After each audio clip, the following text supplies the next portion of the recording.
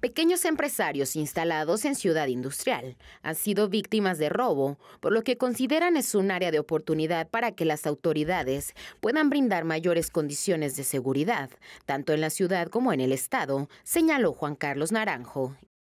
De hecho, eh, todo esto de, haber cerrado eh, es para garantizar un poco la seguridad de los consumidores que vienen. Eh, sí hemos sido víctimas de, robos, o sea, ciudad industrial en eh, no, no es, digamos, una, sobre todo en las noches, como tan seguro y así lo percibe la gente.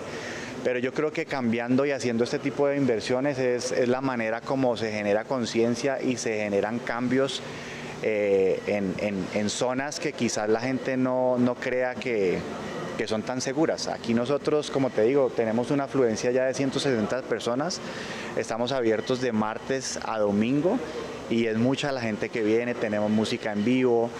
Eh, y bueno, pues con las autoridades locales eh, tratar de reforzar el tema de la seguridad, pues sí, sí es muy importante, ¿no? Porque eh, eso nos garantiza también, no solamente a nosotros, sino a la gente, a las personas que vengan, que estén bien, ¿no?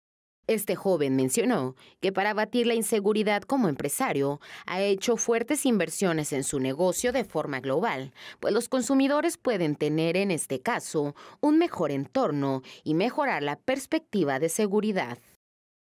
Yo creo que la ciudad y, el Estado, eh, pues digamos que se ve que, hay oportunidades, o sea, eh, la seguridad yo creo que eh, hay que reforzarla. Eh, sí, o sea, no, no es una realidad. Nosotros aquí en Ciudad Industrial, pues eh, como tú puedes ver, o sea, hemos hecho una gran inversión y somos de los que creemos que haciendo este tipo de inversiones podemos mejorar el entorno. A pesar de ello, confía que las cosas puedan cambiar en esta zona de la ciudad con el apoyo de las autoridades. Ángel Martínez en las imágenes reportó para Noti 13 a Mirani Gutiérrez.